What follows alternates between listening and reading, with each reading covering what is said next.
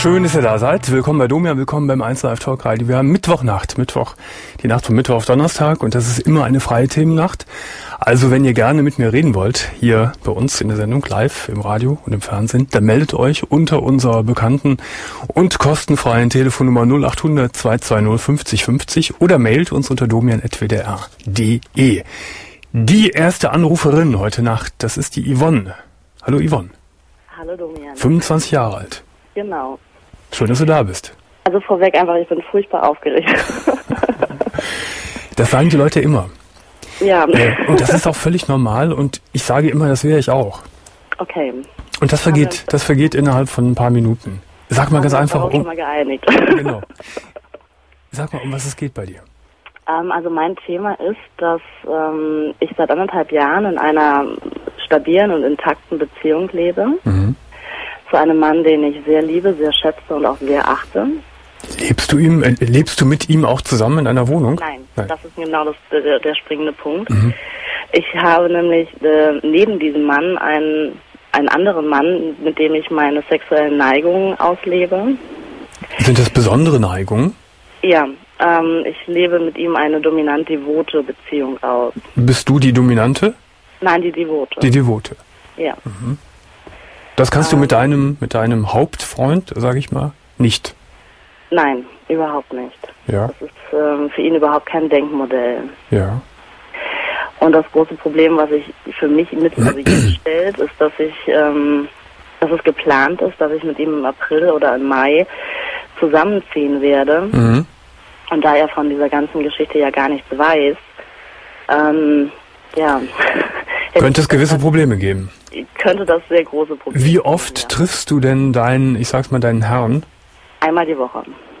Wo? Bei ihm zu Hause und auch immer nur montags abends, weil ich sehe meinen Lebenspartner nur am Wochenende, weil Ja. wir eine relativ große Differenz haben. Ja.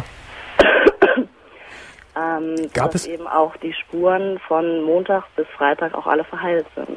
Also die Spuren, die der Herr dir zugefügt hat, Genau, Schl Schläge, genau. Stiche oder weiß ich was. Nein, nein, also Nein, um, äh, es geht also nicht um, um Spuren im Sinne von Blut, um Gottes Willen, nein. Ja. Ähm, es geht um Spuren von Schlägen, von Abbinden, von Wachs, von Klammern, Ja. von so. Und das heilt dann innerhalb von den paar Tagen, heilt in Anführungszeichen, ist dann, Ja, man muss, man muss ein, ein bisschen vorsichtig sein, das Ja. ist richtig. Aber im Normalfall, man entwickelt einfach so ein paar Tricks und Kniffe Gab- mit Salben und Wässerchen, dass das also Freitagabend Mhm. alles wieder weg ist. gab es diesen Herrn schon, als du deinen Freund kennengelernt hast? Ja, Wie lange bist du mit diesem, mit dieser, mit dieser SM-Beziehung schon in Kontakt? ähm, zweieinhalb Jahre. Zweieinhalb Jahre. Mhm. Der weiß davon, dass du einen, einen Freund hast Ja, ja. und dem ist das völlig egal.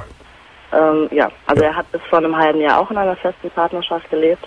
Und für dich wäre das undenkbar, dass du dich in diesen Mann, der dominant sexuell zu dir ist, das ist undenkbar, dass du dich in den verliebst. Ja, ganz undenkbar. Das ist eine Also reine Sexgeschichte. Eine reine, reine, ganz klar definierte Sexgeschichte. Ja, wir haben nebenbei einfach auch ein sehr, sehr freundschaftliches Verhältnis. Ja, Aber im Prinzip geht es ähm, um diese Neigung, die wir einfach teilen. ja. So, jetzt könnte ich mir vorstellen, wenn du, wenn das von Anfang an schon so war, dass du mit dem, dass du diese, diese heimliche Sexbeziehung hattest und mit deinem Freund zusammengekommen bist, dass du von Anfang an doch ein schlechtes Gewissen hattest deinem Freund gegenüber. Oder? Nein, eigentlich nicht. Und dazu kommt der Umstand, dass mein Freund und ich uns auf einer Basis kennengelernt haben. Ähm, also wir haben uns in einem Swingerclub kennengelernt. Oh, du bist aber alle, ähm, also in, in vielerlei Hinsicht aktiv. Ja, Ja. Ähm, sodass von vornherein klar war, dass Liebe und Sex getrennt werden können. Also du warst alleine im Singerclub und, und er war alleine. Genau. Und ihr habt euch kennengelernt und äh, dann hat es schon ein bisschen gefunkt. Ja, genau. Also Ja. wir haben uns samstags abends in einem Swingerclub kennengelernt und ähm, ja, sind irgendwie so aneinander hängen geblieben, haben die Nacht im Hotel verbracht und irgendwie sind wir nicht mehr voneinander losgekommen. Mhm. Also es war nicht so geplant. Kurze Zwischenfrage, das hat jetzt direkt gar nichts mit dieser Thematik zu tun. Äh, du bist erst 25 Jahre alt. Äh, seit wann bist du so sehr sexuell aktiv? Ähm, Im Prinzip, also ja, ich habe mit meiner Sexualität generell sehr, sehr früh angefangen. Ja. und ähm, habe meine ersten Swingerclub-Erfahrungen auch so mit 18 gemacht. Ist früh, ne? Ja. Glaube ich, ja. Was man so hört. Aber- mhm. Ja. Aber es ist halt eben, wenn man später mit seiner Sexualität anfängt, dann äh, und man tendiert dahin, dann macht man diese Erfahrung eben etwas später. natürlich, natürlich. Man entwickelt sich So. immer irgendwie weiter. Mit deinem Freund, mit deinem, mit deinem, ja, mit deinem Partner hast du, ich sag es mal in Anführungszeichen, so normalen Sex. Ja, Ja, da bist du in der Rolle mal, also in der normalen Partnerinnenrolle. ja genau. Mhm. Und es ist auch nicht so, dass ich mit dieser Sexualität, die wir ausleben, unzufrieden bin. Mhm. Gab es wirklich nie, auch jetzt im Laufe der Zeit oder bis heute, äh, ein schlechtes Gefühl, ein schlechtes Gewissen deinem Freund gegenüber? Ähm, natürlich hat man manchmal so Anflüge und sagt, also eigentlich, ähm, man zweifelt eher so an sich selber, ist das alles so wirklich normal? Naja, insofern schon alleine deshalb, weil, weil da steht eine Lüge zwischen euch. Und wenn man Ja, etwas, genau. ne, wenn man etwas, etwas nicht sagt, kann das ja auch schon eine Lüge sein. ja, genau. Äh, und du musst da irgendwie lancieren, dass du ihn nicht sofort siehst, weil er sonst die Streifen bemerkt und so weiter und so weiter. Ähm, wenn er auch so ein Swinger ist, wie alt ist er, dein Freund? 35. 35. Dann ist er ja nur sexuell auch nicht gerade so der verklemmteste, denke ich mal. Ja, das ist richtig. Aber es ist halt dieser Bereich der Sexualität, das ist für ihn einfach äh, überhaupt kein Denkmodell. Okay, das ist ja auch okay. Das kann man ja auch niemandem aufzwängen, wenn man nicht so gestrickt ist, ist man nicht so gestrickt. Das kann man ja auch nicht trainieren. Ein bisschen eine Veranlagung muss da ja da sein. Nein, ich wollte auf etwas anderes hinaus. Ähm, wäre er denn vielleicht nicht äh, sogar zu, na, in dem Sinne, dass man, dass man ihm das näher bringen, dass du ihm das näher bringen könntest, dass er Du dir den, eine Kooperation. ja, dass er dir den Freiraum lässt. Ja. Ähm, davon gehe ich einfach nicht aus, weil diese ganzen Clubgeschichten, die wir so machen, ähm, äh, er möchte einfach immer ganz gerne dabei sein. Mhm.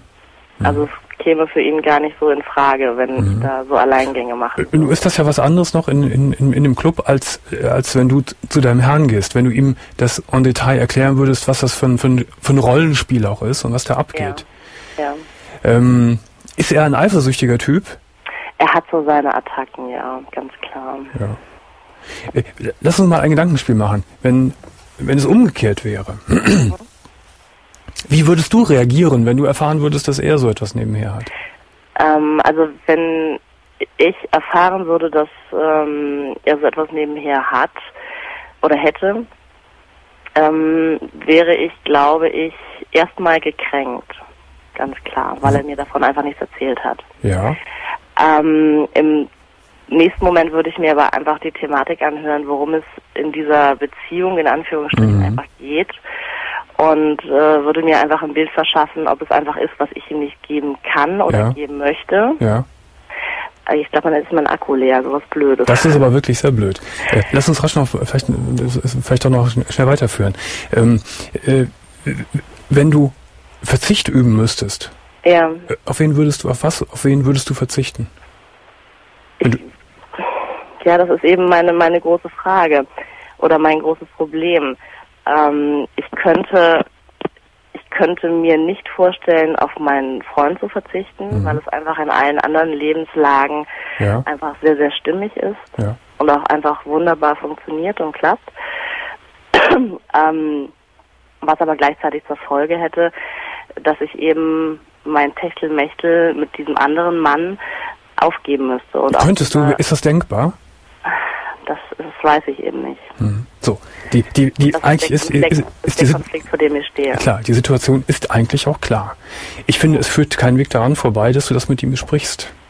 Es sei denn, du sagst für dich, ich stelle, ich nehme eine Bewertung vor, ich lege mein Leben auf den Tisch und sag, was ist für mir das Wichtigste?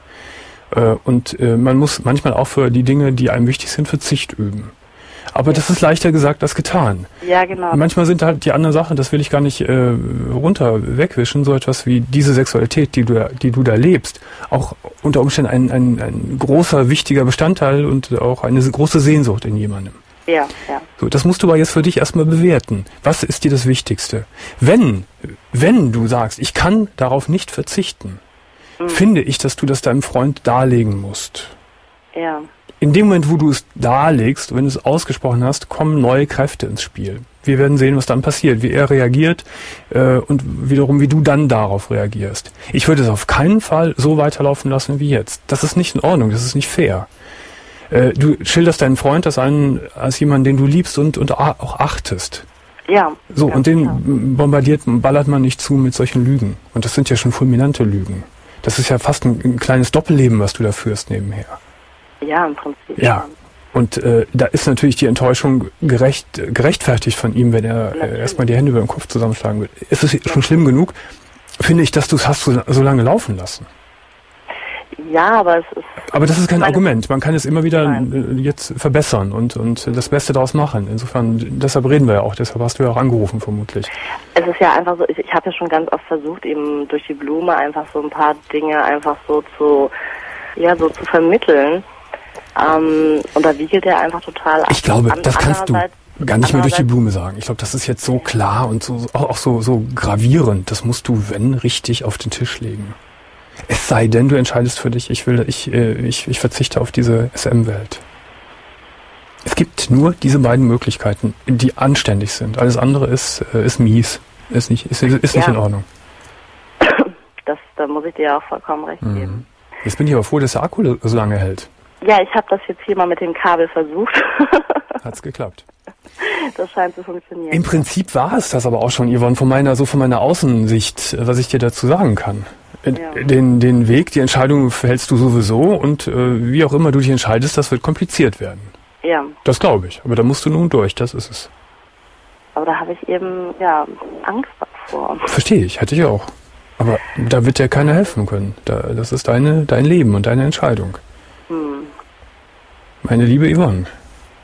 Ja, so und wünsche dir alles Gute bei deinen Aktionen, die jetzt vor, vor dir liegen.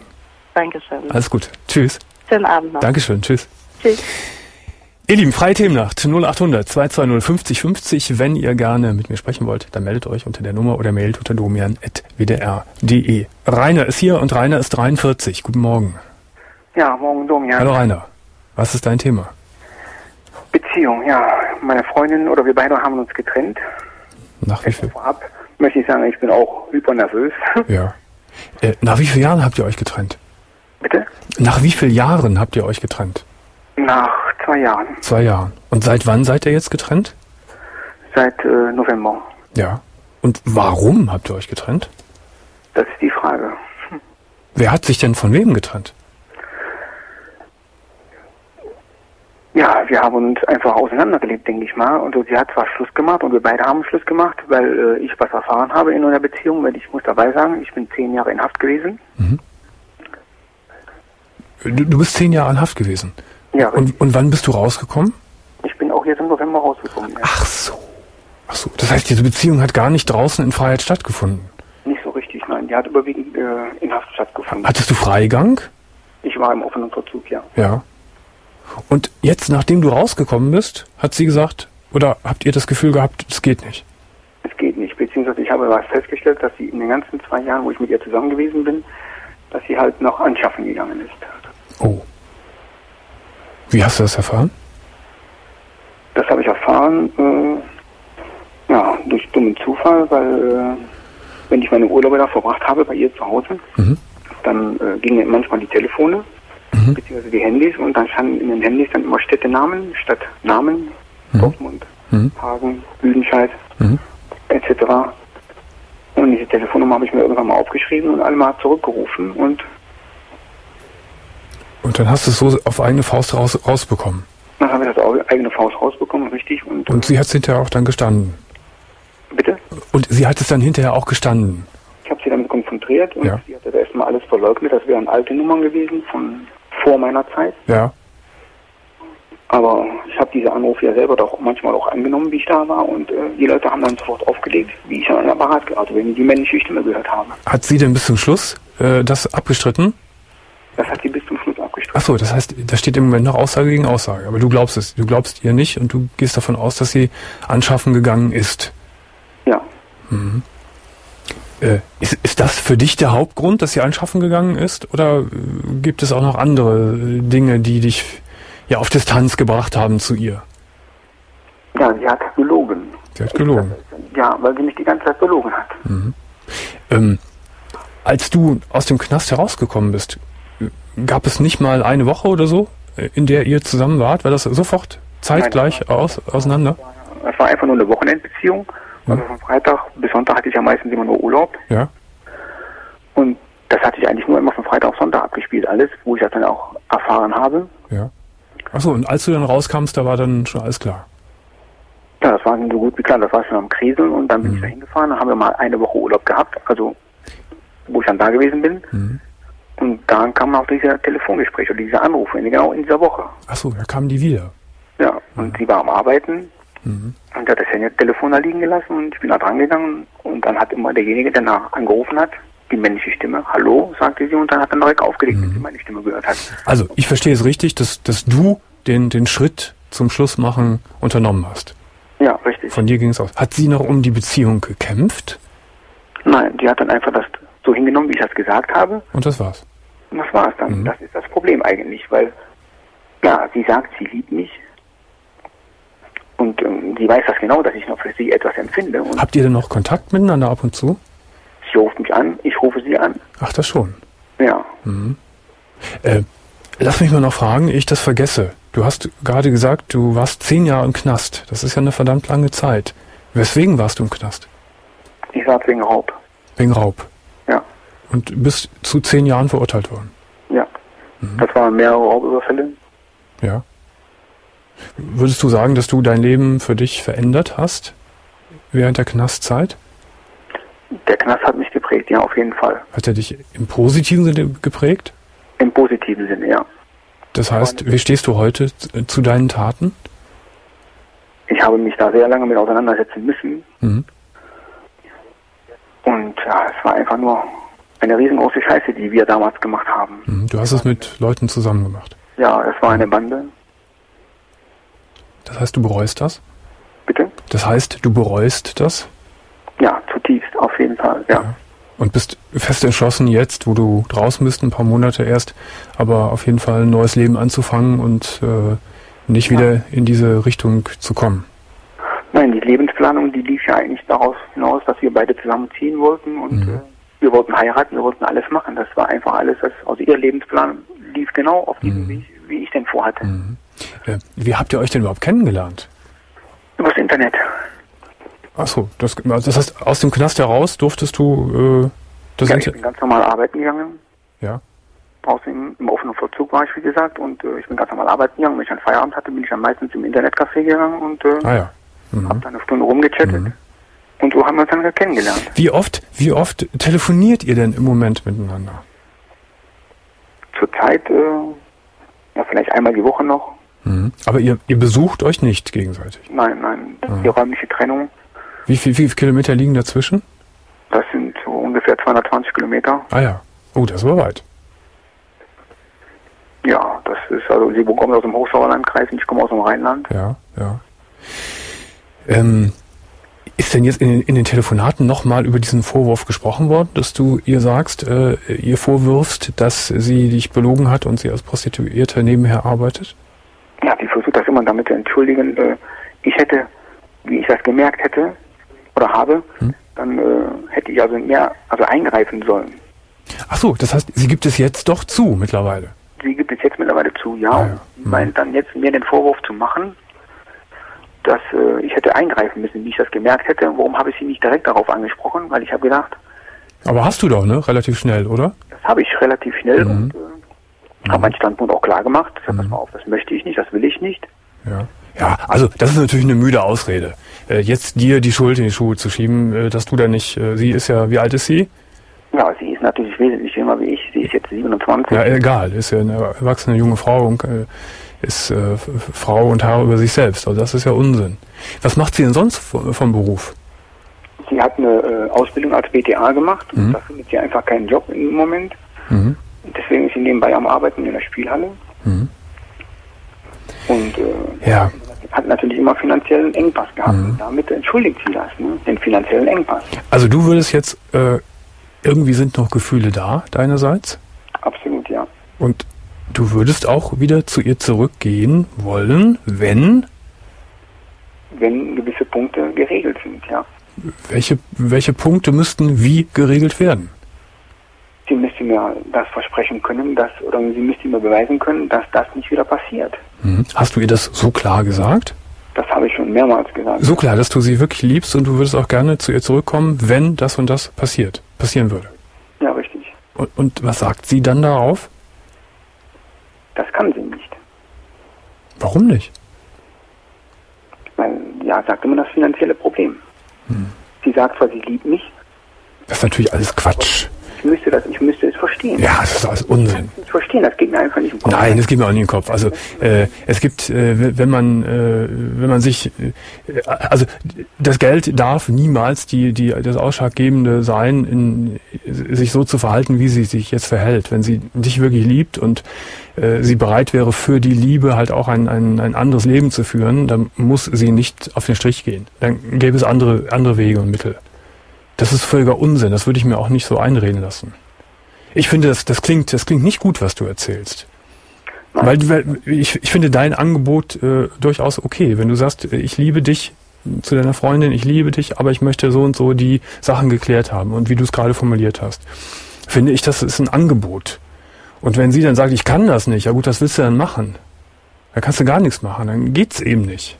Offensichtlich ist ihre Liebe nicht stark genug zu dir, dass sie äh, da auf dich zukommt. Das Problem, was ich noch habe, wie gesagt, ich bin nach, nach den zehn Jahren Haft natürlich auch, äh, ich habe äh, einige Menschen verloren in meiner Haft. Mein Vater ist verstorben. Mhm. Und ich habe natürlich jetzt ja auch keinen Ansprechpartner, wo ich halt diese Sachen mal austauschen kann. Verstehe. Mhm. Das ist das Problem, was ich jetzt habe, weil ich bin jetzt hier äh, in einem Bundesland, wo ich eigentlich gar nicht herkomme, mhm. sondern aus einem anderen Bundesland. Das heißt, da ist auch noch eine ganze... Ich habe mein ganzes äh, soziales Umfeld ist... Äh ja, Einsamkeit ist da. Und sie ist ein, wäre ein wichtiger Partner für dich, um auch, auch um in das neue Leben rein zu, zu starten. Richtig, genau. Ja. Verstehe. Das ist natürlich super hart, Rainer. Aber irgend einem Punkt musst du halt erkennen, das geht mit der Frau nicht. Und wenn du jetzt schon so viele Monate darum baggerst mit ihr und sie sich überhaupt nicht bewegt, keinen Millimeter, dann ist es nicht die richtige Partnerin. Dann habt ihr euch da irgendwie getäuscht oder euch selbst, oder sie hat dir einen vorgespielt, all die, die Zeit, was bitter ist. Es ist mir schon klar, dass es für dich bitter ist. Aber vielleicht ist es auch schlau, ab einem gewissen Punkt dieses einzusehen und dann den härteren Weg zu gehen, alleine zu gehen als wenn du dich jetzt da noch weiter reinsteigerst und äh, dich da festbeißt und es, es wird vielleicht immer schlimmer. Und du wirst immer frustrierter. Ja, das ist das Problem, was ich habe, weil ich mich da festbeiße, genau. Mhm. Die Sorge habe ich nämlich auch schon ein bisschen, wie du es erzählt hast. Pass mal auf, Rainer. Äh, ich würde gerne, dass du eingehender und ausführlicher mit meiner Psychologin jetzt noch sprichst. Ich habe dir jetzt von mir, von meiner Seite aus um meine Einschätzung gesagt. Was aber vielleicht noch auch dir so an, an Hilfestellungen gegeben werden könnte, Stichwort Einsamkeit und äh, fehlender Freundeskreis, vielleicht können wir dir da ein bisschen helfen. Ja, das wäre okay, das wäre nett. Dann bitte ich dich aufzulegen und die Anja, meine Psychologin heute Nacht, ruft dich jetzt gleich an. Hm, okay. Ja, alles Gute wünsche ich dir von Herzen. Ja, danke. Auf Wiederhören. Wieder, tschüss. Meine Lieben, morgen ist Donnerstag, da haben wir Themennacht. Und unser Thema morgen heißt, ich habe es aus Liebe getan. Viele Menschen tun Dinge aus Liebe, die irgendwie wahnsinnig sind. Und die sagen das hinterher auch, äh, äh, weil sie natürlich völlig davon überzeugt waren. Man kann aus Liebe vielleicht den Nebenbuhler schwer verletzen oder gar töten. Man kann aus Liebe die eigene Familie verlassen, weil man irgendwie von Sinnen ist äh, und verknallt ist in irgendjemand anderen und äh, macht es aus Liebe. Man kann auch aus Liebe vielleicht das eigene Kind entführen. Oder man kann aus Liebe aktive Sterbehilfe leisten und somit mit dem Gesetz in Konflikt geraten. Es gibt vielerlei Dinge. Äh, das ist unser Thema. Ich habe es aus Liebe getan. Ich möchte gerne mit euch morgen über, über Verhaltensweisen von euch äh, sprechen, die vielleicht verrückt sind oder nicht in Ordnung sind, so objektiv betrachtet. Äh, aber ihr sagt, ich habe das aus Liebe getan. Damals habe ich es auf jeden Fall aus Liebe getan und aus tiefer Überzeugung und äh, mir war klar, ich konnte nur so handeln. Also wenn ihr gerne morgen mit mir darüber sprechen wollt, dann meldet euch ähm, ab 0 Uhr morgen Nacht oder während der Sendung ab 1 Uhr. Oder ihr könnt rund um die Uhr natürlich mailen unter domian.wdr.de. Hier ist Gabi und Gabi ist 54 Jahre alt. Guten Morgen, Gabi. Hallo Domian. Hallo Gabi. Was ist dein Thema? Nicht so gut. Ich habe heute schlechte Nachricht bekommen. Ich habe heute erfahren, dass mein Mann Krebs hat. Mhm. Und das tut natürlich sehr weh und ich weiß nicht, wie ich damit fertig werden soll. Mhm. Wie alt ist dein Mann, Gabi? 61. 61. Er wird am 18. März wird er 62. Ja. Wie, wie er habt... liegt schon 14 Tage im Krankenhaus. Er, er, liegt im Krankenhaus? Ja, 14 Tage schon. Mhm. Weswegen wurde er eingeliefert? Wegen einem leichten Schlaganfall. Mhm. Und er hatte aber vorher schon Magenprobleme. Er hatte schon eine Magenspiegelung gemacht bekommen. Mhm. Und da haben sie aber nichts festgestellt. Mhm. Und dann hat er aber im Krankenhaus weiter Magenprobleme gehabt und dann haben sie ihm noch mehrere Magenspiegelungen gemacht und Gewebeproben entnommen. Ja. Und heute kam dann der endgültige Befund, dass es Krebs sei. Das ist Magenkrebs. Ja, Magen und in der Bauchhöhle ist er auch, er ist schon weiter fortgeschritten. Ach so, es ist schon also fortgeschritten. Operation käme nicht in Frage, nur Chemotherapie mhm. und äh, Bestrahlung eventuell. Das Schlimme ist, er weiß es nicht genau. Er weiß wohl, dass er Krebs hat, mhm. aber dass er Bestrahlung, aber wie weit und was ist, wir können es ihm auch nicht sagen. Der Arzt hat gesagt, er wäre noch stabil dafür. Mhm. Also ist ihm jetzt zu sagen, weil er hat eine längere Krankengeschichte vor 2000 mhm. hinter sich, da hatte er schon mal Krebs. Das so. war Lungenkrebs gewesen. Ah ja. Mhm. Und äh, der hat er aber gut überstanden, weil mhm. er konnte operiert werden. Und er hat jetzt einen leichten Schlaganfall, das heißt, er ist da auch noch. Er hatte äh, eine Durchblutungsstörung im Gehirn, aber ja. er hatte Sprachstörungen und dadurch ja. bin ich mit ihm dann ins Krankenhaus gefahren und die haben ja. ihm den Kopf untersucht, weil die mhm. Krankengeschichte, weil sie dachten erst, das wäre Metastasen. Mhm. Aber, aber, die waren es Gott sei Dank nicht. Gewesen. Aber das heißt, er, er weiß schon mal grundsätzlich, dass da, äh, dass es ein Krebs im Magen ist. Er weiß ja, nur das, weiß, das Ausmaß noch nicht. Und dass er Krebs mhm. ist. Er weiß aber nicht, wie weit er halt ist. Und ja. Hast du denn, also du hast alleine mit einem Arzt gesprochen heute? Ich habe heute mit dem Arzt ja. Hat dein Mann dich denn danach noch? Der Onkologe entscheidet morgen, ob er eine Chemotherapie oder eine Bestrahlung. Mhm. Und ich habe ihn daraufhin gefragt, wie die Erwartungen sind. Mhm. Und er sagte, ich kann nichts sagen ich kann ich kann nicht machen, ich, ich weiß nicht wie, so fertig bin ich halt nur, weil ich selbst hilfsbedürftig bin auch und er hat mir alles gemacht, er hat den ganzen Haushalt gemacht, mhm. er hat alles für mich getan, mhm. ich war auf ihn angewiesen, ich habe einen Hund, da ist mit spazieren gegangen, mir fehlt alles, mhm. ich, ich habe keine Hilfe von draußen. Ich ja. habe zwar eine Tochter, die hat drei Kinder, die kommt ab und zu mal, aber die ist auch labil und ja. kann ich auch nicht so belasten. Hast du gerade, gerade gesagt, Gabi, dass du, dass, dass, du selbst hilfsbedürftig bist. Heißt das, dass du auch erkrankt bist? Ja. Was hast du? Ich habe ein Lungenimphosem und ich habe äh, eine Herzthrombose gehabt. Also ich habe nicht viel Kraft. Ich kann also nicht viel weit mhm. laufen. Ich brauche eine Gehhilfe zum Laufen und ich kann so im Haus mich noch freier bewegen, aber wenn ich längere Strecken ein bisschen laufen muss, dann brauche ich schon eine Gehhilfe. Mhm. Ich kann also nicht mal selbst mit dem Hund spazieren gehen, da brauche ich meine Nachbarin für. Im Moment, die macht das auch. Mhm. Aber ich bringe nicht über das Herz, den Hund wegzugeben. Der ist mein Mann, sein Ein und Alles. Mhm. Der liebt ihn so sehr und wenn der Hund auch nicht mehr da wäre, das wird er gar nicht verkraften. Macht die, macht die Nachbarin das denn gerne mit dem Hund? Ja, im Moment noch, aber ich kann ja. sie ja nicht immer zumuten. Nee, aber wollen wir mal nicht zu weit im Voraus denken. Nein, ähm, ich möchte die, die, auch. Wichtig ist ja, da, ich finde auch, den Hund müsst ihr behalten. Wenn ihr beide den Hund so gerne habt, muss der Hund ja, da bleiben. So, und wenn die Nachbarin das jetzt erstmal macht, dann ist es ja auch erstmal gut. Ja, so, dann lass mich einmal. Ich bin ja auch sehr dankbar, weil ich habe, ich ich habe sonst niemand weiter. Mhm. Lass mich mal noch so ein paar, paar, ein paar faktische Dinge fragen. Äh, wie ist es mit dem Einkaufen? Schaffst du das alleine einzukaufen? Ja, ich versuch's. Ne? Also sehr langsam geht das geht. Langsam, aber ich brauche schon bei schweren Sachen brauche ich schon Hilfe. Ja. Aber da kann ich Gott sei Dank Nachbar und so in Anspruch nehmen. Ja, aber so die Kleinigkeiten, so die du alleine brauchst, solange der Mann nicht da ist, das schaffst du schon das mit dem. Ich, noch. ich fahre auch noch kürzere Autostrecken, so. das schaffe ich auch noch. Weißt du, was, warum ich das so frage? Um ich brauche also über Nacht äh, Sauerstoff zwar zum Schlafen, aber ich brauche es mhm. am Tag, Gott sei Dank. Ich frage es deshalb, um, um einfach rauszukriegen, du kommst alleine erstmal eine Weile über die Runden.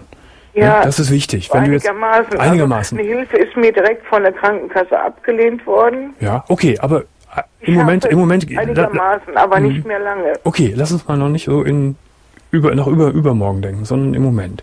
So, jetzt ja. hast du, jetzt ist, natürlich bist du im Moment, du, bist, du bist natürlich im Moment. Damit klarkommen. Ich weiß nicht, wie, mhm. wie ich meinem Mann gegenübertreten soll. Ich wollte nur fragen, wie, wie kann ich mir Kraft entgegenzutreten, um ihm wiederum Kraft zu geben? Ich nicht ins Krankenhaus gehen und mich bei ihm setzen und ihm vor was weinen. Das mhm. geht ja schlecht. Ja, das geht schlecht. Es gibt niemanden, mit dem du so reden kannst, so ganz Nein, persönlich. Ich, ich kann mit meiner Tochter nicht so reden, ja. weil die, die weinen dann direkt auch und dann weinen wir beide und das zieht ja immer mehr runter. Ja. Äh, bist du äh, in, in der Kirche aktiv oder hast du Kontakt zu so deiner... Mehr, mehr. Bitte? Ich habe mein Glauben eigentlich verloren, weil ich zu viele Leute verloren habe. Mhm. mhm. Irgendwo mhm. hole ich mir wieder einen Strohhalm, aber ich komme nicht so ganz auf die Reihe damit. Mhm. Pass mal auf, Gabi. Ich finde auch, dass du einen, einen Menschen brauchst, mit dem du, das war gerade die Frage mit der Kirche, ob es vielleicht der Pastor sein könnte, aber das geht nicht in dem Fall. Das geht nicht so gut. Das geht nicht, okay. Also ich finde auch, dass, dass du äh, einen Menschen brauchst, mit dem du dich so austauschst, um auch Kraft zu tanken. Ja, ich muss, ich da werden wir gleich mal. Heute Abend, ich war so froh, dass ich dich erreicht habe, dass ich dich mal sprechen konnte, mhm. weil da kann, kann ich mal mit jemand, äh, der nicht so betroffen ist, reden mhm. und mhm. das macht dann schon mal ein bisschen mehr, mhm. äh, gibt mir doch ein bisschen mehr Kraft wie ja. jemand, der, der damit einbezogen Verstehe, ist. Verstehe, ja. Also ich, ich verspreche dir, dass wir gleich im Anschluss unseres Gespräches im Hintergrund mal gemeinsam überlegen werden, wie du an einen, an einen Menschen kommst, mit dem du regelmäßig reden kannst. Ne? Das sage ich jetzt erstmal, das machen wir gleich. Ja. Darüber hinaus finde ich, ähm, ja, du hast natürlich recht, du kannst nicht bei dem Mann sitzen und weinen. Der ist natürlich jetzt. Kraft, ich, ich genau. Aber du, mit Kraft. Das Schlimmste war ja heute, weil er dort saß und, und fing an zu weinen und da war automatisch das ganze Zimmer am Weinen, das war so schlimm. Mhm. Aber guck mal, du bist doch schon, du hast da schon eine ganze Menge wieder geschafft heute. Du hast mit dem Arzt geredet. Ja. Du hast bist, bist wieder zu deinem Mann gegangen und hast auch mit ihm geredet. Und was ja. ja auch wichtig ist, er weiß ja schon mal grundsätzlich, dass er eine schwere Erkrankung hat. Das weiß er. Und man muss ihn ja, das ist ja vielleicht auch eine gute Entscheidung von dem Arzt. Ich habe einmal die Kraft gehabt. Deswegen war der Schock heute so groß, wie ich Damals mhm. war ich aber noch fitter, da konnte ich ihm, da bin ich jeden Tag 120 Kilometer in die Klinik gefahren. Ja, aber du hast heute schon mal alles richtig gemacht. Du hast mit ja. dem Arzt klar gesprochen, du hast es dir richtig erklären lassen, weil du hast es mir gerade auch klar erklärt, ich habe verstanden, um was es geht und mhm. du hast mit deinem Mann gesprochen. Das ist doch schon mal eine tolle Leistung, finde ich. Du hast heute nicht versagt, obwohl du einen Schock, äh, Schock ja, bekommen ich hatte hast. Einen Schock. Ich ja, aber du hast es toll gemacht, das muss ich jetzt erstmal so sagen. So. Ich habe ihm auch geredet, ich habe mit ihm geredet. Natürlich ist klar, wenn er anfängt zu weinen, dass man dann automatisch... Na klar, ein bisschen weinen kann man ja auch mal, man ist ja auch nur Mensch. Und dann, sagt, warum weinst du denn, das wird schon wieder gut. Ja, jetzt pass mal auf, jetzt äh, scheint die Erkrankung schon sehr schwer zu sein. Ja. Aber es gibt ja nun immer und immer wieder Krankheitsverläufe, auch bei schweren Krebserkrankungen, die dann doch positiv verlaufen. Jetzt sollte man schon es hoffen. Kann ich nicht darüber, sonst kann ich nicht mehr, sonst kann ich nicht mehr selbst ich, ich kann da nicht mit klarkommen. Ich muss immer sagen, der wird wieder gesund. Ja, das ist ja auch richtig so. So muss man, man muss ja auch hoffen, wenn es noch eine Hoffnung gibt, und eine Hoffnung gibt es ja noch. Äh, ich, ich hoffe immer, mehr kann, sonst kann ich nicht weiterleben. Nee, das ist ja auch die, die beste, das Beste, was du deinem Mann auch wieder so spiegeln kannst, nämlich, dass du hoffnungsvoll bist. Und wenn es jetzt eine Chemotherapie oder eine Strahlentherapie gibt, vielleicht hat er ja das große Glück und äh, die Therapie schlägt an. an anbremsen vielleicht das, oder so, ja. dass er wenigstens noch ein bisschen bei mir ist. Ja, vielleicht, vielleicht hat es sogar noch eine größere Wirkung. Du hast ja heute erstmal die Diagnose bekommen. Ja. Das heißt, da werden jetzt noch viele morgen noch mal hin. Morgen noch mal hin. Da werden vielleicht noch mal Untersuchungen sprechen, genau. weil der Onkologe ist ja der, der die letztendliche Entscheidung trifft. Genau. Zwischen Strahlentherapie und genau. Chemotherapie. Das heißt, er er hat ja heute ein, zwar, du hast heute etwas Schlimmes gehört, aber das ist ja noch nichts Endgültiges. Das kann ja durchaus alles auch noch eine gute Wendung ich finden. vorstellen, das ist unvorstellbar. Da soll man ja auch gar nicht Menschen über. zu verlieren, der alles für einen getan mhm. hat. Aber darum, darüber solltest du jetzt auch gar nicht nachdenken, sondern jetzt geht es darum zu hoffen. Die Hoffnung stirbt ich zuletzt, sagt man. Jahre verheiratet, Domian. Das schweißt zusammen. Wir haben durch dick und dünn sind wir beide mhm. gegangen. Mhm. Das, mhm. das, gibt eine Ehe, die, die so glücklich ist, wie wir beide mhm. waren. Mhm. Das ist so traurig dann zu sehen, wenn der Partner so erbärmlich da sitzt mhm. und kann nicht weiter. Aber weißt du, was das, das Wichtigste ist jetzt? Und das musst du auch so für dich sehen. Du hilfst deinem Mann am allermeisten, wenn du hoffnungsvoll jetzt bist. Die muss ich ihm geben. Die musst du. Und die ich Hoffnung ist ja auch. Ich erstaunt sein. Ich habe einen Enkelsohn, der ist zwölf Jahre alt, der ja. wird jetzt 13. Der hat gesagt, Opa, ich brauche dich noch bis ich muss doch noch sehen, wenn ich einen Führerschein ja, wenn ich 18 genau. bin. Nun, lass den Kopf nicht hängen. Mhm. Da war ich so stolz mhm. auf ihn. Ja, aber ich bin, du kannst auch stolz auf dich sein, dass du das, äh, ich sag das nochmal so, das war heute ein sehr schlimmer Tag für dich. Dass du jetzt heute Abend weinst und fertig bist, ist völlig normal. Haben alle Menschen Verständnis. Ich alleine weinen, ich darf nicht bei ihm weinen. Genau, du kannst ja zu Hause weinen. Ja, muss ich. Ja, und dann muss man jetzt mal weiter gucken, wie sich das entwickelt. Ja. Also, wie gesagt, ich habe gerade, was ich, es ist gerade so ein bisschen untergegangen. Es gibt ja diesen, diesen Spruch, den alle Leute immer so sagen, aber er ist so wahr, dass die Hoffnung zuletzt stirbt. Das muss ja. man sich ja immer wieder ein, ein, äh, eintrichtern. Und er ist nur natürlich ziemlich runtergezogen, weil er jetzt schon wieder so viel durchgemacht die, ja, hat. Die 14 Tage, ja. das zieht ihn nach unten und weil er schon mal durchgemacht mhm. hat, deswegen, der muss unheimlich aufgebaut werden. Deswegen sagt der Arzt mir auch nicht die volle Wahrheit. Ja, ist ja auch richtig so. So, was, was aber eigentlich ganz gut. Was deine Person aber anbelangt, das machen wir jetzt so, wie ich es dir gerade versprochen habe. Du legst jetzt auf. ist nur daran dumm.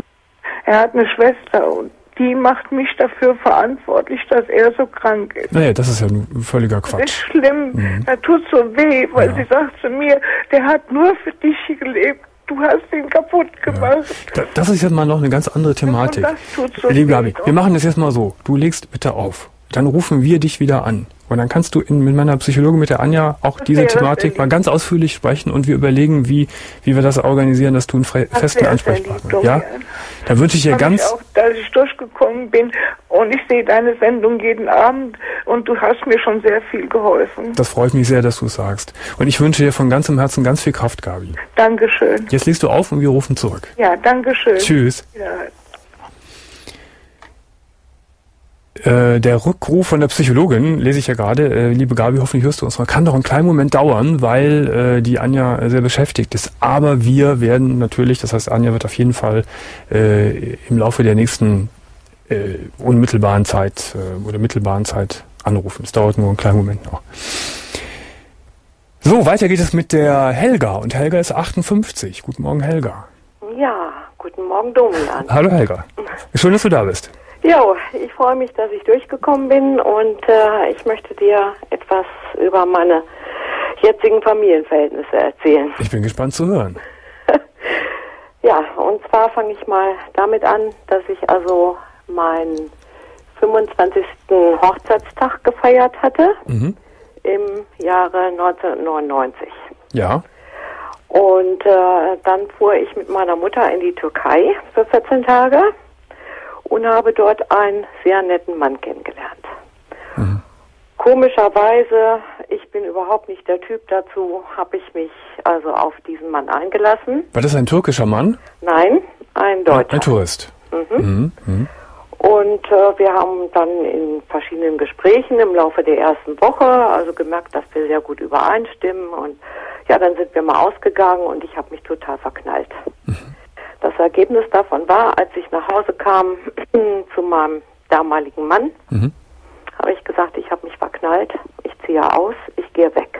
Oh, das war aber ein Schlag ins Gesicht für ihn. Ja, also hammerhart habe ich das durchgezogen. Es war damals nicht so, dass ich an eine Trennung gedacht habe, äh, also jedenfalls nicht bevor ich diesen anderen Mann kennengelernt habe. Mhm. Warst du denn unzufrieden in der Ehe? Ich war unzufrieden aufgrund dessen, äh, dass wir zwei Firmenpleiten erlebt haben, mhm. hintereinander weg. Mhm. Also alles war weg, Auto, Haus, Grundstück, alles mhm. weg, ja. Mhm. Kein Geld mehr, äh, Zukunft sah auch nicht rosig aus. Mhm. Ich ging nicht arbeiten, ich hatte, war verwöhnt, ich hatte ein gutes Leben, also ich brauchte nicht arbeiten. Mein Mann hat immer das Geld rangebracht und mit einmal war nichts mehr da. Mhm. Mhm. Und das hat natürlich dann auch eine große Unzufriedenheit herbeigeführt und ich glaube, dadurch bin ich überhaupt in diese Situation geraten. Ja. Also war ich offen dafür. Ja, aber die Unzufriedenheit, klar, die resultiert jetzt aus diesen materiellen äh, Turbulenzen. Also Weil, überwiegend aus den materiellen Turbulenzen, dann ist mein Mann auch schon ab und zu mal fremdgegangen. Ach so, so, so. Also es war auch nicht mehr so ganz in Ordnung mit der War nicht mehr so ganz mhm. in Ordnung. Mhm. Er hat auch gerne mal so ins tiefer ins Glas geguckt. Er kannte immer nicht so das richtige Maß. Ja. Äh, es hat mich schon irgendwie einiges gestört, ja. aber gut, nach 25 Jahren stört an vielleicht ohnehin irgendwie mal was, ja. ja. So, auf jeden Fall bist du dann weggegangen. Ich bin dann weggegangen mhm. nach Frankfurt und ähm, ähm, ja, in dem ersten halben Jahr war hier auch alles sowas von, von toll und schön mit dieser neuen Liebe. Hast du gleich mit der neuen Liebe zusammen gewohnt? Sofort. Sofort. Ja. Mhm. Ich äh, bin also weg äh, von, von meinem Zuhause nach äh, zu meiner neuen Liebe gleich gezogen es war sehr beengte Verhältnisse, aber es klappte alles wunderbar im mhm. ersten Halbjahr und äh, dann habe ich die Scheidung dann eingereicht und habe gesagt, also dann diesen Mann, den heirate ich, fange nochmal ganz von vorne an, alles wird ganz super toll. Mhm. Wurde es ganz super toll? Es wurde nicht toll. Warum? Also der Mann ist äh, sehr, sehr lieb, mhm. sehr nett, sehr aufmerksam, aber wir haben seit wir geheiratet haben, also du hast dann wieder geheiratet? Und Wir hast haben also dann äh, sehr schnell geheiratet, ein Jahr nach der Scheidung. Ja. Die Scheidung wurde sehr schnell und zügig ausgesprochen. Ja. Dann haben wir äh, im äh, Jahre 2001 geheiratet. Ja. Und äh, seitdem haben wir keinen Sex mehr. Ach, aber du bist mit ihm immer noch zusammen? Ich bin noch mit ihm zusammen, immer in der Hoffnung, dass sich das Ach. ändert, aber ich habe sie langsam aufgegeben. Ja, das, das hätte ich allerdings auch der, an der Stelle. Von 2000 also und durch den Wind, muss ich sagen. A, sitze ich hier in einer kleinen Wohnung, ich habe nichts zu tun. Äh, ja, mit Arbeit ist nichts. Ich habe zwischendurch mal alles Mögliche gemacht in den Jahren. Ja. Hat er denn äh, auch nicht so viel Geld, der Mann? Na gut, er, er hat sein, sein festes Einkommen, aber es ist natürlich also recht wenig. Ihr kommt ja. so über die Runden, kann man Wir sagen. Wir kommen gerade so mhm. über die Runden. Mhm. Du hast dein ganz altes Leben abgebrochen, ne? Ja. Hattest du Kinder mit deinem ersten Mann? Ja, äh, aus der ersten Ehe habe ich zwei Kinder und äh, hast du mit denen meine noch Tochter ist gerade heute 30 geworden, also das heißt, vor ein paar Minuten ist ja der ah, ja. Tag umgegangen. Ja. Und, äh, Hast du Kontakt ja. mit den Kindern? Bitte? Hast du Kontakt mit den ja, Kindern? Ja, gut. das schon. Ja. Jetzt sag mal, ähm, du sagst, nachdem ihr verheiratet wart, gab es keinen Sex mehr. Genau. War das sch quasi schlagartig? Schlagartig. Ach, das gibt's doch gar nicht. Und vorher, vorher war also richtig. Vorher hatten wir super Sex, äh, einfach toll. Ich, ich kannte das so auch gar nicht mit so vielen Varianten und also äh, sehr liebevoll und es war einfach aufregend und, und, toll. Und man kann wirklich sagen, dass durch die Eheschließung war. Äh, und dann war Schluss. Also er ist noch vorher erkrankt äh, äh, an der Bauchspeicheldrüse mhm. und kurz danach haben wir dann geheiratet, aber ich meine, darauf kann ich es glaube ich nicht schieben. Es war einfach dann Knallauffall irgendwie. So, du hast hoffentlich doch sehr oft mit ihm darüber schon gesprochen. Sehr oft, also es äh, gab Zeiten, wo ich nicht mit ihm darüber sprechen konnte, weil ja. er dann sofort ausrastet. Aha. Und zwar in einer so äh, bösen Art, also er wird regelrecht jähzornig. Also es gab... Er zerfetzt sich die Klamotten. äh, wenn man ihn anspricht, dann zerreißt er sich die Klamotten. Er, er, er, zieht das Hemd aus und zerreißt das Hemd? Ne, das macht er am Körper schon. Er reißt das Hemd auf, vor Wut auf und ja. kaputt. Ja. Wenn du diese Thematik ja, ansprichst. Richtig. Ja, das deutet aber auf, auf, auf, äh, auf etwas hin, was da aber auf, auf etwas hin, was, was überhaupt nicht in Ordnung ist bei ihm. Ja. Äh, das heißt, es gab noch nie eine, eine, eine sachliche, klare Erklärung. Also äh, wenn man ihn, wenn ich es dann mal schaffe, mit ihm vernünftig zu reden, ja. wenn ich ihn dahin kriege, mhm. äh, dann kommt aber keine Begründung. Dann kommt höchstens die Begründung, ja, ich mag dich gar nicht mehr anfassen, weil äh, ich weiß genau, da passiert nichts mehr. Warum passiert nichts mehr? Ja, die, die Begründung kommt nicht. Frage. Warum? Wie, wie alt ist er? 53. 53. Mhm. Kein Alter. Nee, eben, er ist ja auch noch jünger. Hat ja. er denn, äh, bist du sicher, dass er keine Freundin hat nebenher?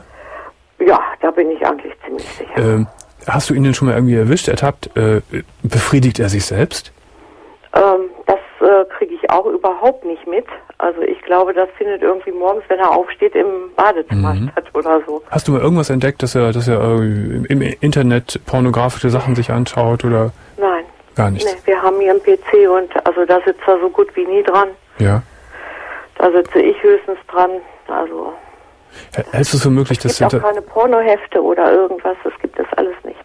Hältst du es für möglich, dass er, vielleicht sogar ausgelöst durch diese Erkrankung damals, ich weiß es nicht, ob es da Verbindungen geben kann, dass er impotent geworden ist und sich irre schämt vor dir?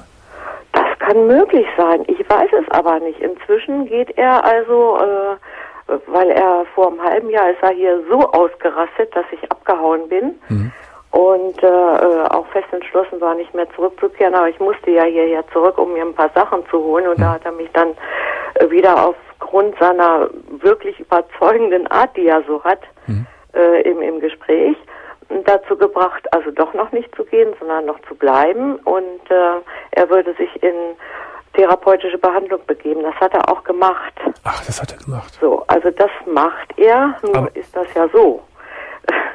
da, ist Urlaub, da kriegt man sowieso erstmal schwer, schweren Termin, mhm, mhm. dann ist wieder Urlaub, dann geht wieder eine Weile. Also jetzt war er gerade dreimal da. Ach so. Ist es eine, eine, eine psychotherapeutische Behandlung oder ist es eine, eine ärztliche Behandlung? Also, so wie ich das sehe, so ist das so eine Art Gesprächstherapie. Ja, na immerhin hat er das von sich aus gemacht. Ja, das hat er gemacht. Mhm, Bloß, äh, wie lange soll ich jetzt warten, was dabei rumkommt? Mhm, mhm. Ist er denn zärtlich zu dir? Er fasst mich ja gar nicht an. Gar nicht. Also es gibt auch kein Kuscheln im Bett mal. Nö. Also zwischen keine Sexualität haben und äh, Es gibt nichts. Es gibt einen gute Nachtkurs und ah, ja. äh, er möchte gerne, dass ich neben ihm im Bett liege und seine Hand halte, damit er einschlafen Mensch, Helga, dass du das so lange aushältst. Ja, also ich bin. Wir reden jetzt von von sechs Jahren. Ja, ich bin bin ziemlich am Ende. Das also, glaube ich. Das glaube ich. Äh, ähm, kostet mich eine Menge Kraft, jetzt hier nicht loszuheulen, mhm, weil mhm. ich wirklich nicht mehr weiß, was ich machen mhm, soll. Ja. Mhm. Wenn der, wenn er immerhin äh, da so offen ist und von alleine in, in eine Therapie geht, wäre er denn dazu zu bewegen, in ein, zu einer Eheberatung mit dir zu gehen? Das hatte ich ihm auch schon mal vorgeschlagen, aber es hält dafür komplett sinnlos, weil er meint, wir beide haben kein Problem. Ja, er das meint er, aber du hast das Problem. Ja, dass ich ein Problem habe, glaube ich, mhm. das äh, oder wenn du er gar nicht. Oder das, das äh, drückt er irgendwie weg. Ja, ich oder ihn oft gefragt, ich sage, äh, was, was, was denkst du denn, was in mir vorgeht? Genau, ja. ja? Interessiert ihn nicht. Nee. nee. Äh, auch auch die, die Idee, dass du vielleicht mal, vielleicht eine Weile in diese Therapie mit einbezogen wirst.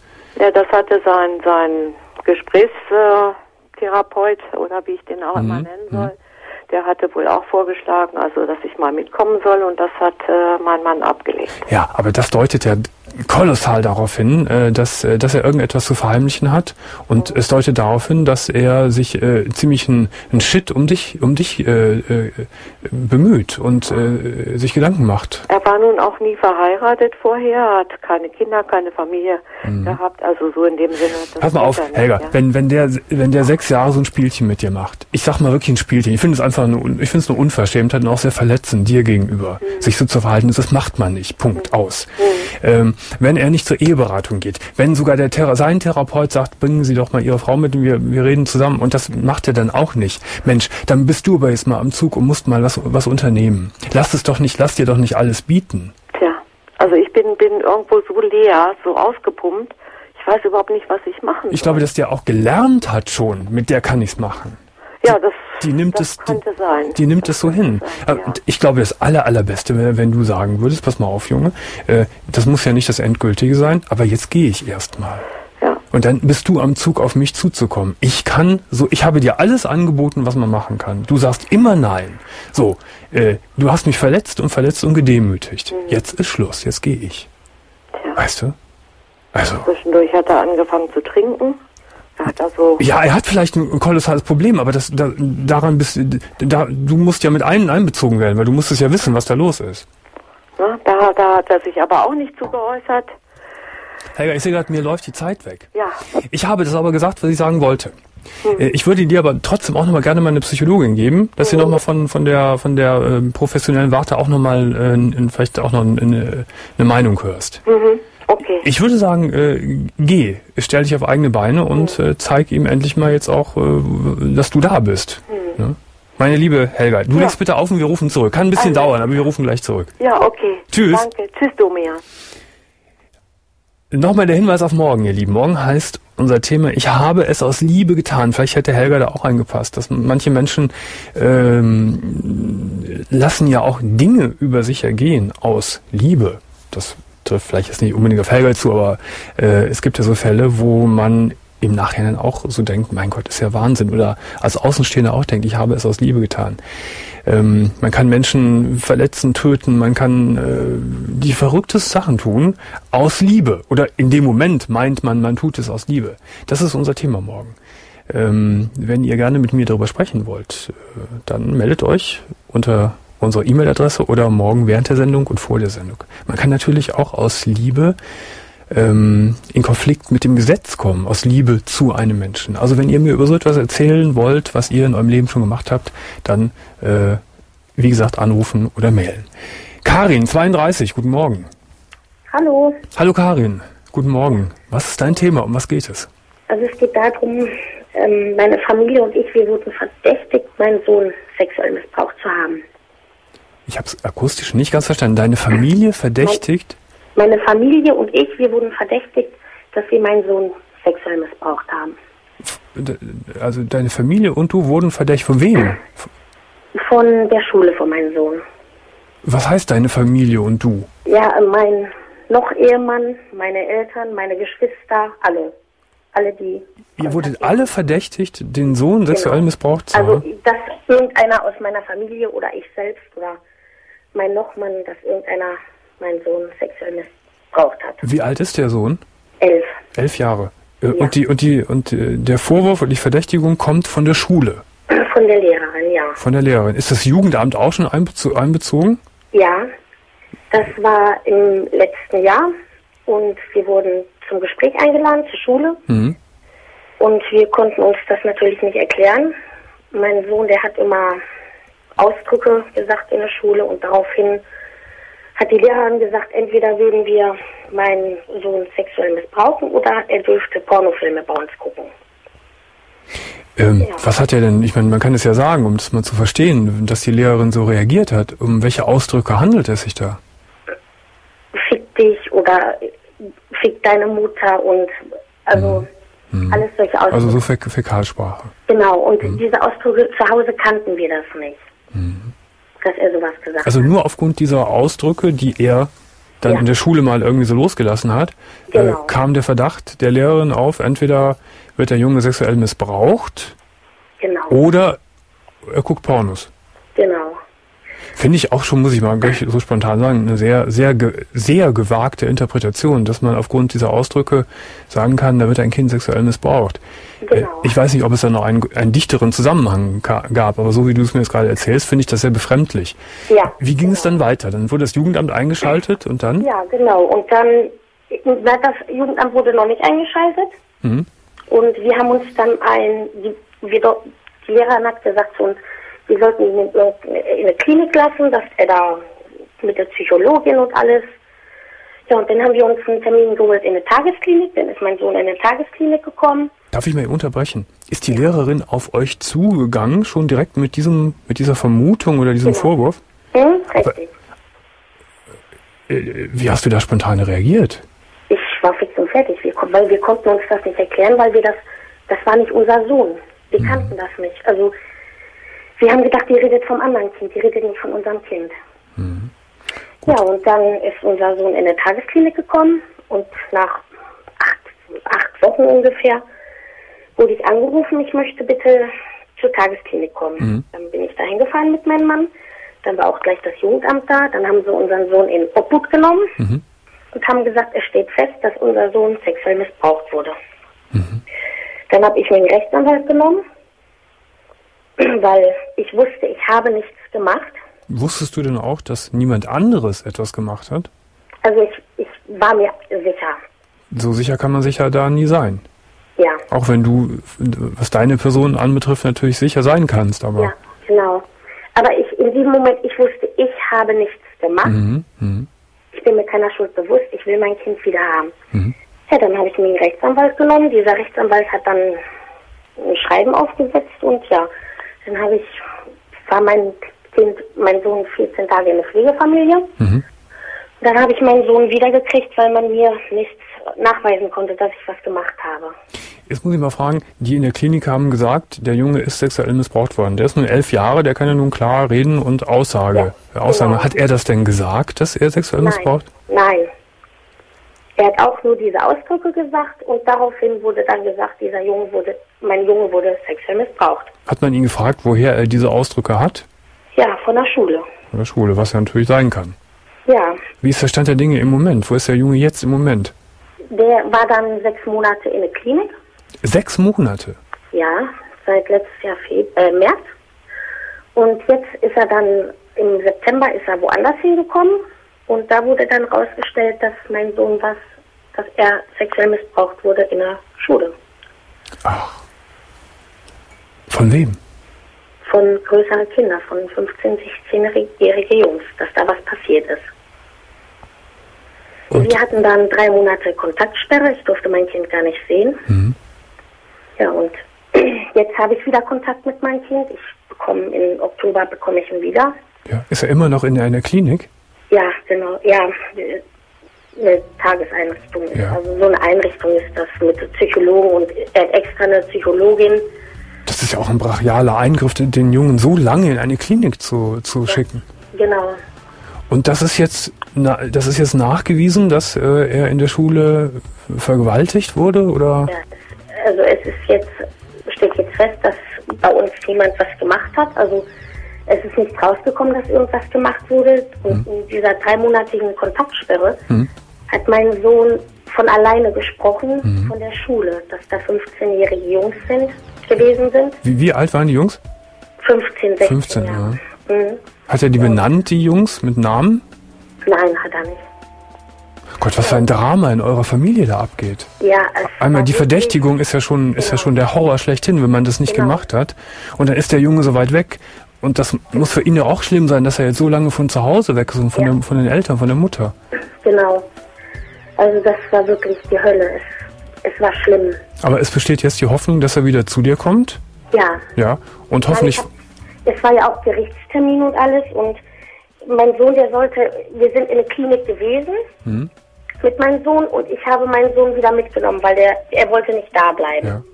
Das war eine, eine Karin, stationäre. Hm? Ich muss, die Send ich muss es abbrechen, weil die Sendung gleich vorbei ist. Aber Ja. wir rufen dich gleich auch nochmal an. Einverstanden? Super, okay. Okay, bis gleich. Tschüss. Danke, tschüss.